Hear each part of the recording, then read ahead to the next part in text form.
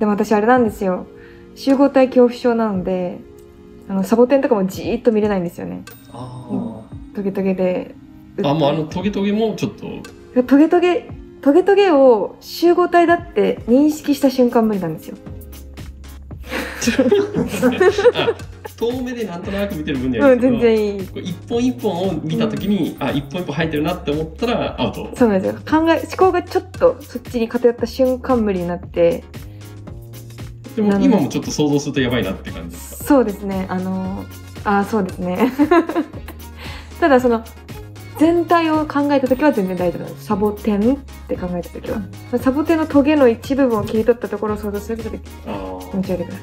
でこうなんか接写した写真とか映像とかはちょっと苦手な感じ。ですね。それなんかきっかけあるんですか？そういうのは苦手だなって感じた。もなんだろう子供の時からもうそういうの苦手だなっていう感じでした。ういやでも割と大人になってからですうん気づいた時があったんでしょうね。なんだろうな。どこまでが集合体恐怖症なんですか肌のズームとかは？あーもう本当でも物によるんですよね。ただめ一番苦手なのがロマネスコ。ブロッコリーの仲間あそうですそうです。あの渦巻きみたいにこう、うん多肉植物とかちょっとあるんですか多肉植物もう本当物によりますねあれはどうですかハスあもうダメです流行りましたよね流行りましたよね一時ハスコラあそこはねもうダメですいやあれはまあ大体みんな大体ダメですよあれあれ全然 OK っていう人はまあ、まあ、もちろんいるんでしょうけどなかなかねなかなかあのこう肘とかにこうああコラージュでこうハスのブツブツが。これやめてほしい。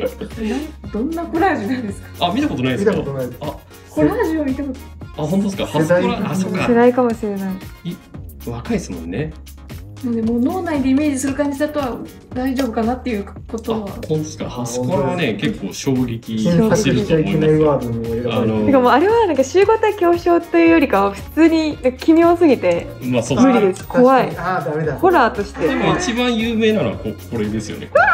なんでこんなことしようと思ったいや本当に。それやばいやばいですよね。やばいです。これは本当やばいですよね。赤バンされると思いますよ。出したら赤バンされる。これはハスコラはやばい。やばいです。なんかあの真顔とかの写真にコラージュするほどひどい感じがする、うんうんうんうん。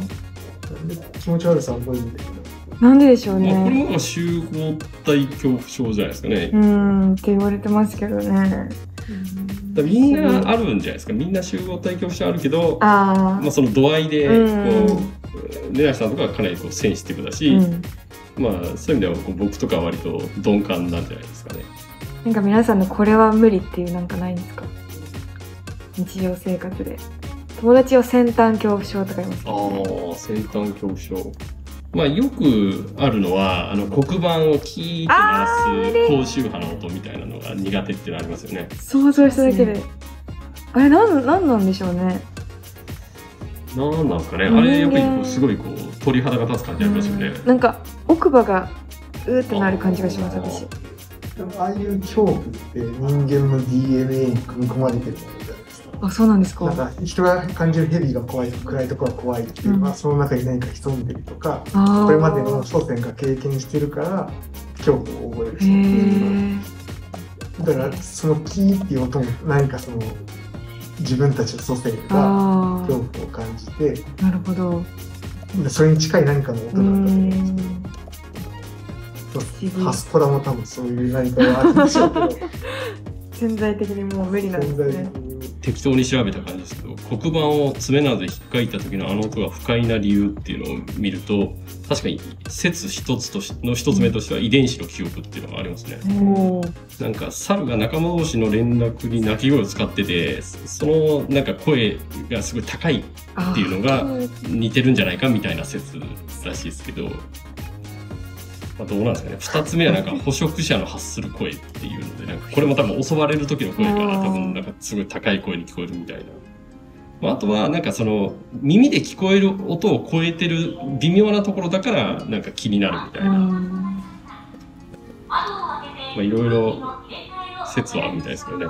ちなみにモスキート音とかって聞こえます？私聞こあ聞こえます？わかります。ああいうのはどうですか？嫌な感じします？あれは大丈夫なんですよねじゃあ全然あれ効果ないです。あ れなんかそのタムロスしないようにね。あのそういうことですねそうそう。若い人は聞こえるから、若い人がなんかタムロして、なんか邪魔にならないようにみたいな、こう、離れたくなるように出してるへえ知らなかったらしいですけど。で、レナさんは聞こえてるけど、うん効果なしっていう。効果なしですハムロしちゃってるかもしれない。うちの奥さんは深海恐怖症です深海？深海深い海の深いところとかうんうん。海の中に入ってる映像とかがあ、もう映像で、ああ映像で怖いあーでも分からなくもないです。う海猿とか結構苦しいです。海猿あれじゃないドラマドラマ苦しいです。あ それ、あれですか、あの、ドラマとかで、あの、この息を止めないといけないみたいなシーンだったら、やっぱりレナさんも息止める。止めちゃいます。なんか無意識に苦しい苦しいです。疲れます。それはまた違う違うんですかね。感情移入しすぎてるだけかもしれない。